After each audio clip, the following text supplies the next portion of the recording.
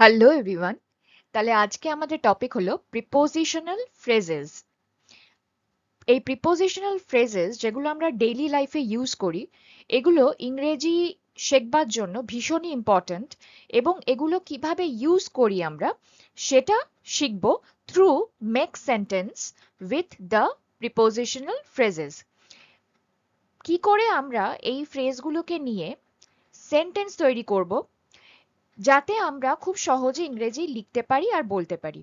তাহলে চলো দেখা যাক।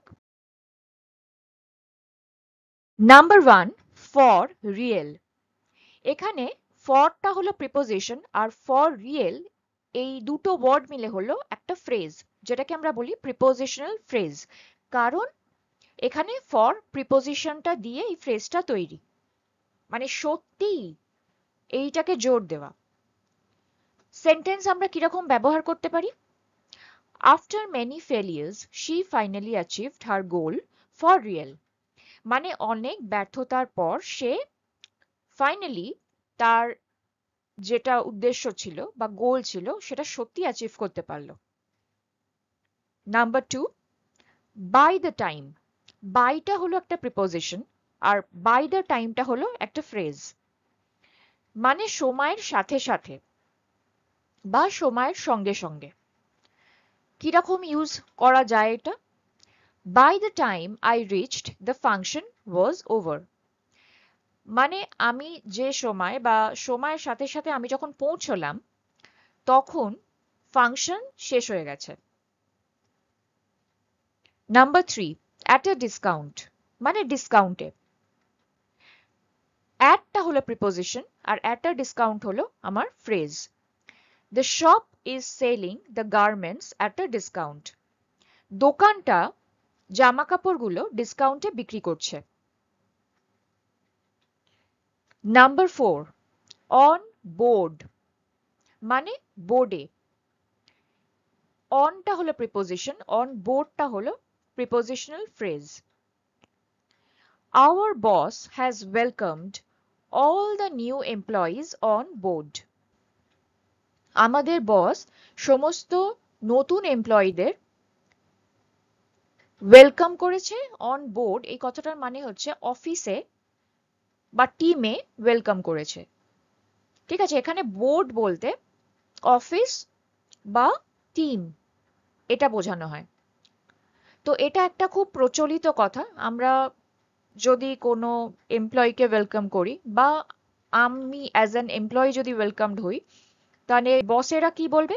ওয়েলকাম অন বোর্ড মানে অফিসের টিমে ওয়েলকাম বা অফিসে welcome five at the same time এখানে অ্যাটটা হলো প্রিপোজিশন আর অ্যাট দ্য সেম টাইমটা হলো প্রিপোজিশনাল ফ্রেজ মানে একই সঙ্গে।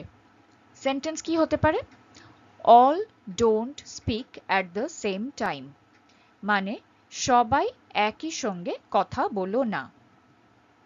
Number six on the move অনটা হলো প্রিপোজিশন অন দ্য মুভ হলো প্রিপোজিশনাল ফ্রেজ মানে চলার পথে। The soldiers are on the move মানে সৈন্যরা চলার পথে। নাম্বার সেভেন বাই ফার মানে এখনও পর্যন্ত।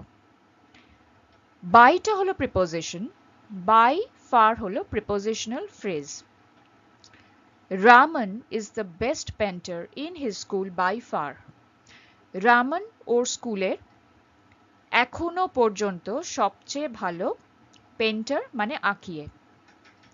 Number eight at the age of মানে এই বয়সে। অ্যাট হলো প্রিপোজিশন অ্যাট দ্য এজ অফটা হলো prepositional phrase she has become a national swimming champion at the age of ten সে এই দশ বছর বয়সেই একজন জাতীয় সুইমিং চ্যাম্পিয়ন হয়ে গেছে। Number nine, under construction. এটার মানে হচ্ছে নির্মাণাধীন বা যেটার নির্মাণ চলছে। আন্ডারটা প্রিপোজিশন, আন্ডার কনস্ট্রাকশন হলো প্রিপোজিশনাল ফ্রেজ। সেন্টেন্স কি হতে পারে?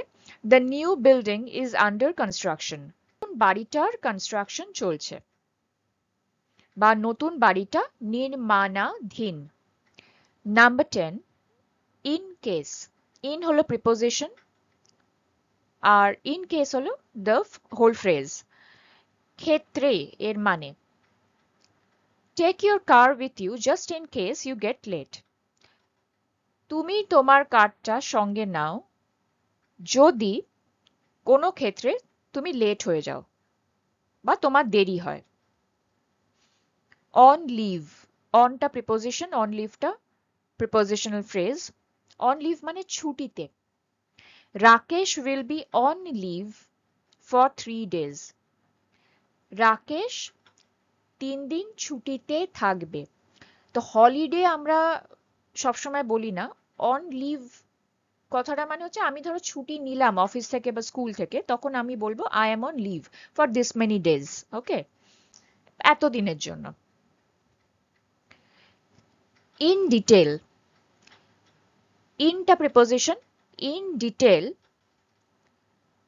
এটা হলো প্রিপোজিশনাল ফ্রেজ এটার মানে হলো বিস্তারিত। বলি না বিস্তারিত বর্ণনা দাও। Describe the incident in detail ঘটনাটার বিস্তারিত বর্ণনা দাও।